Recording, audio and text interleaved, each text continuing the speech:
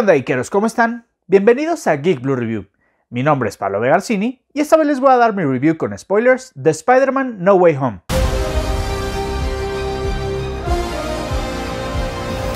Pues bueno, Icaros, la verdad es que vengo justo saliendo del cine y traigo como muchísimas ideas en la cabeza con respecto a esta película. Honestamente, había algunas cosas que sí me esperaba de esta cinta y había otras cosas que por completo me tomaron por sorpresa.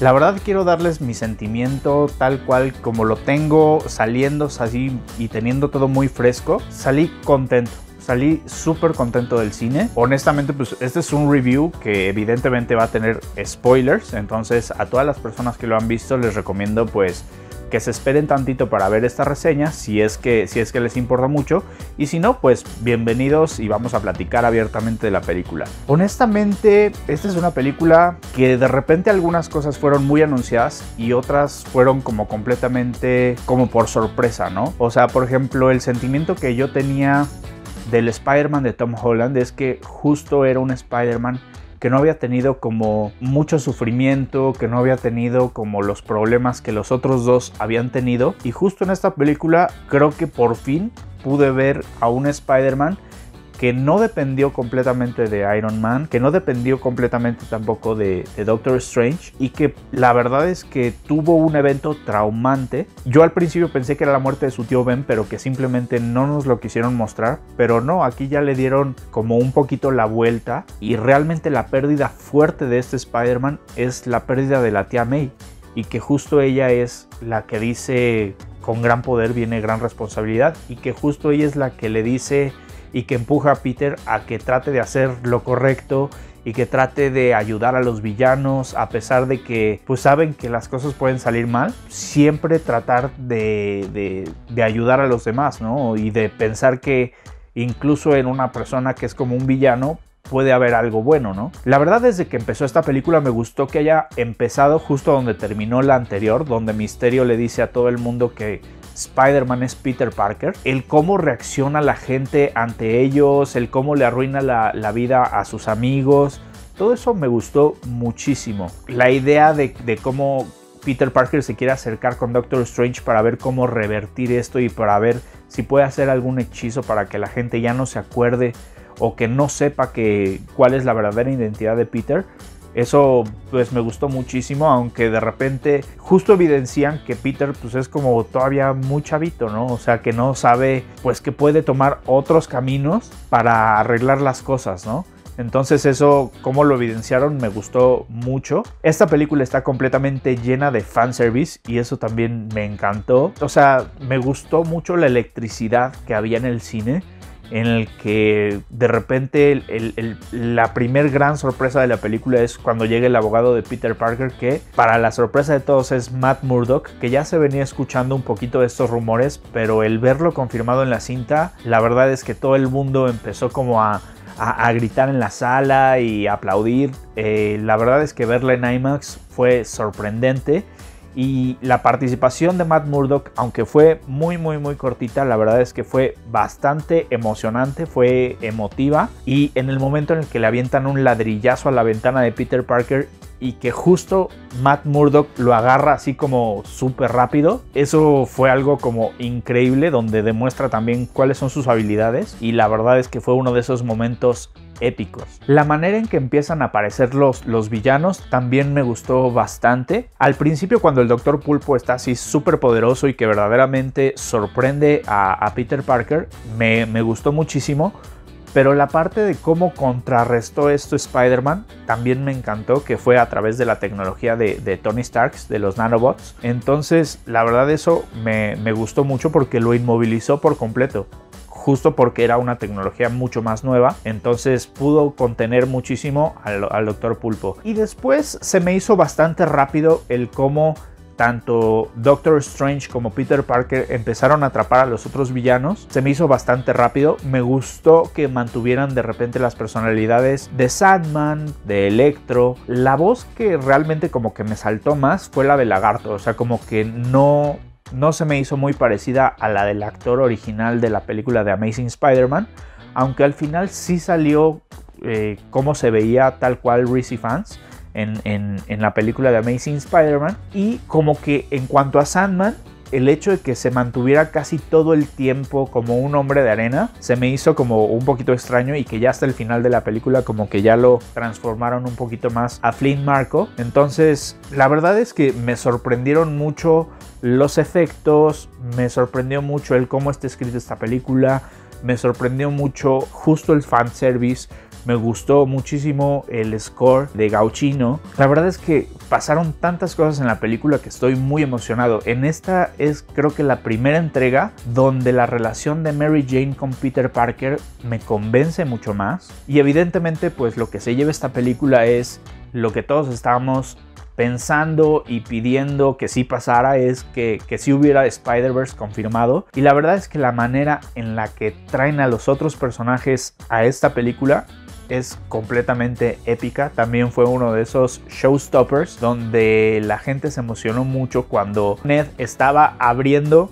justo el portal y de repente pensamos que va a traer a Tom Holland. Y vemos a lo lejos una, silueta de Spider-Man y vemos tal cual los ojos súper característicos de Andrew Garfield. Y también todo el humor que empieza a tener también Andrew Garfield interactuando con, con MJ y con Ned eso me encantó. La verdad es que otra de las sorpresas para mí en esta película es que yo pensé que iban a salir súper poquito y que solo iban a salir realmente en la batalla final, cuando Peter Parker de Tom Holland más los necesitaba. Y no, o sea, la verdad es que casi casi a partir de la mitad de la película aparecen los, los otros Spider-Mans y me encanta cómo empiezan a interactuar con Tom Holland y con Peter Parker y con todo ese universo y cómo empiezan a ver cómo pues el Spider-Man de, de, Tobey Maguire pues tiene eh, lanzatelarañas orgánicos y los otros que sí se les acaban y así de...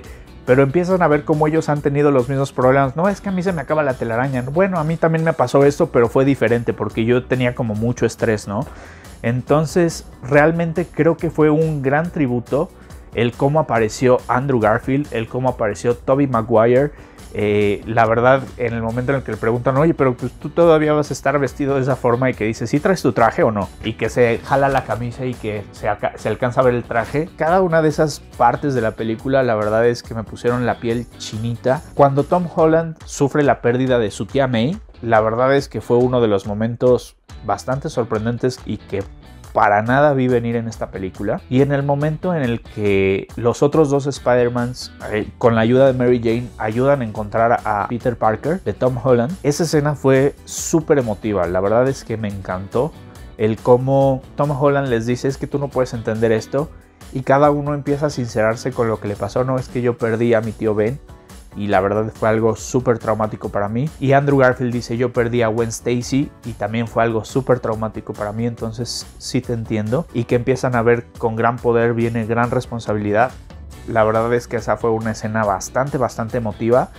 Y para un fan de Spider-Man ver eso en la pantalla grande es tremendamente épico. O sea, de repente se tira esa palabra como bastante sencillo, pero es épico, o sea, es emocionante, es todo lo que uno haber querido ver en este tipo de películas y cumplieron yo creo que con todas las expectativas de los fans, que eso es lo más importante. Otra cosa que me encantó de esta película es justo cómo mostraron que Peter Parker de repente no sabe trabajar en equipo, ¿no? O sea, a veces me identifico con eso y en el momento en el que Tom Holland les dice, no, bueno, yo les voy a decir, vamos a ir atacando de uno en uno y vamos a tratar de curarlos y vamos a tratar de solucionar estas cosas. Esa parte se me hizo también bastante emocionante y definitivamente una de las partes que también está súper épica es cuando MJ de Tom Holland está a punto de caer de la Estatua de la Libertad y que cuando Tom Holland la va a salvar, el duende verde lo ataca y la cara y la reacción de Andrew Garfield cuando salva a MJ,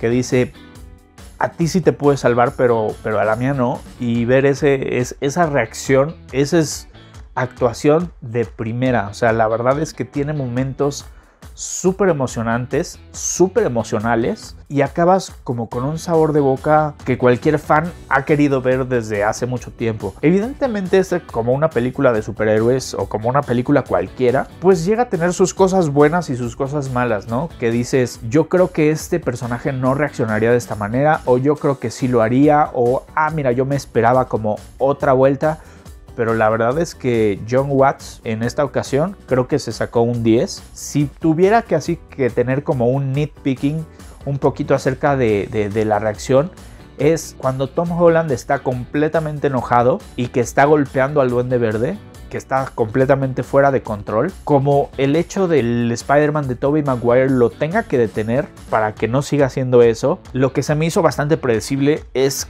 que obviamente el duende verde pues lo iba a atacar, ¿no? Y por un momento pensé verdaderamente que pues que sí lo había matado, ¿no? Entonces, al saber que nada, que nada más estaba lastimado, la verdad es que fue algo súper bueno para mí, porque si lo hubieran matado, para mí hubiera sido como, entonces, ¿para qué lo trajeron, no? Para esto, eso no me hubiera gustado, entonces el hecho de que haya salido lastimado en vez de, de que lo hubieran matado, eso me gustó muchísimo. Y realmente uno de los grandes sacrificios que tuvo que hacer por fin el Spider-Man de Tom Holland, cuando Doctor Strange tiene que revertir el hechizo, pero ahora sí nadie va a recordarlo, ni MJ, ni Ned, ni los Avengers, ni Doctor Strange, nadie absolutamente va a recordar a, Spider-Man y todos los demás villanos y seres de otras dimensiones van a volver a, sus propios universos. Ese es creo que el primer gran sacrificio que ha tenido que hacer este Spider-Man y justo es lo que me faltaba, o sea, me faltaba en esta franquicia. Realmente nunca me han molestado las participaciones de Spider-Man en el MCU, de hecho me gustan por lo que han sido, me gusta por lo que fueron, me gustan su interacción con, Tony Stark, me gusta su interacción con Guardianes de la Galaxia, me gusta su interacción con el MCU en general, pero en sus propias películas había estado como apagado. O sea, no había sido un Spider-Man que verdaderamente me haya ganado. En esta película puedo decir sin ningún problema que por fin tanto los personajes secundarios como los principales de esta saga me gustaron muchísimo y me convencieron por primera vez como Spider-Man y el lugar en donde lo dejan al punto final de esta película, que es justo que nadie lo recuerda y que está tratando de acercarse pues tanto a Ned como a MJ en la escena de la cafetería con las donas y todo eso, la forma en cómo, se dan las cosas se me hace como bastante real, bastante orgánico, sin querer como forzar las cosas. Él siente algo por ella, ella siente algo por él, pero no quiere justo como apresurar las cosas, ¿no? Porque así no se dio la, relación en un principio y creo que no se tiene que dar ahora. Pero el lugar donde dejan Spider-Man en, en, esta película, como que no tiene que depender ahora tanto del MCU, está padrísimo porque le deja un horizonte tremendo para ahora sí participar, por ejemplo, con Venom, que ya vimos en una de las escenas postcrédito que ahorita vamos a platicar, o con Morbius, o pues con todo lo que venga, ¿no? O sea, ya incluso Sony podría hacer su propia línea de películas, podría continuar con las de Amazing Spider-Man o con las de Tobey Maguire si es que quisiéramos ver spin-offs de Spider-Man. La verdad el hecho de que Electro haya mencionado que, que pensaba que, que Spider-Man era negro y que hicieron un pequeño guiño a Miles Morales, eso también me encantó. Siento que sembraron muchísimas cosas para poder vivir muchas posibilidades en este nuevo universo que yo creo que va a seguir en conjunto con el MCU, pero ya por fin le van a dar como más independencia justo a Spider-Man. O sea, desde el momento en el que ya vemos que termina en su nuevo departamento, yo pensé que el señor Ditkovich era el que lo iba, el que le iba a decir, pues la renta es a primero de mes. Entonces, la verdad como fan, puedo seguir platicando y platicando de esta saga y de esta película por muchos, mucho, mucho tiempo. Pero definitivamente el sentimiento que les quiero decir es que quedé súper satisfecho como fan, quedé contento, estoy muy emocionado de ver qué es lo que viene para nuestro Friendly Neighborhood Spider-Man y definitivamente estoy emocionado por la franquicia. Me gustó realmente que Marvel haya podido mantener el secreto hasta esta fecha, que muchos fans van a poder experimentar esta sorpresa esperando que la verdad es que la mayoría de nosotros nos controlemos y que tratemos de no compartir spoilers, a menos de que esté como completamente anunciado y que digas, voy a hablar con spoilers, si lo quieres ver, adelante, pero sin poner así como algo en un thumbnail que sea como súper evidente, eso se me hace muy grosero para toda la gente que no pudo conseguir como su boleto para, para los primeros días. Entonces, pues si conoces a alguien que no la ha visto, pues procura tener mucha discreción, ¿no? Y si ya quieren ver cuál es la opinión de alguien que ya la vio, pues entonces sí, adelante, ¿no? O sea, tenemos completa apertura, ¿no? Ahora vamos a hablar un poquito de las escenas postcréditos, ¿no? La primera escena postcréditos involucra a Tom Hardy y al personaje obviamente de Venom. Justo lo vemos como está en un bar en México y que está platicando completamente de qué es lo que está pasando y cómo llegó ahí y que está hablando un poco acerca de Thanos y todo eso y en el momento en el que desaparece se queda como una manchita que es justo parte del simbionte.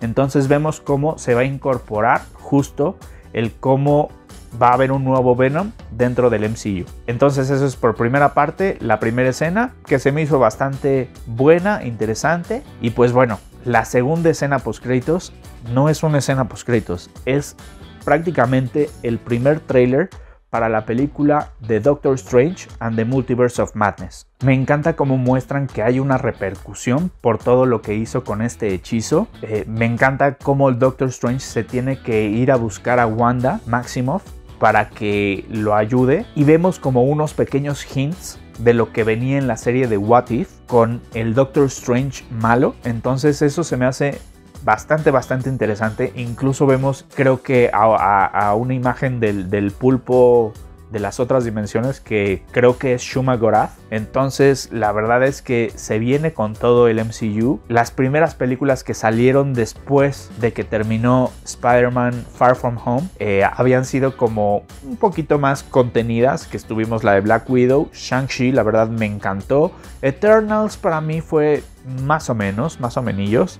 Me esperaba un poquito más de esa película, pero creo que no tuve como tanta conexión con esos personajes. Pero definitivamente las series de televisión me han gustado mucho. WandaVision, Loki, Falcon and the Winter Soldier y ahorita la que estamos viendo de Hawkeye, que justo también como acabamos de ver a Matt Murdock, podemos ver también que acaba de salir Kingpin en el quinto episodio de la serie de Hawkeye. Entonces, la verdad es que se están abriendo muchísimas posibilidades en el MCU y definitivamente la importancia de tener una buena cabeza en Kevin Feige como productor principal del MCU es invaluable. O sea, me encantaría que otras franquicias pudieran tener este tipo de dirección y que no todos los directores uno hiciera lo que lo que piensa y después otro se fuera por otro lado y después otro por otro lado porque realmente así no acaban de cuajarnos. O sea, por ejemplo, en, DC, la visión de Patty Jenkins es completamente distinta a la de Zack Snyder y es completamente distinta a la del director de Aquaman con James Wan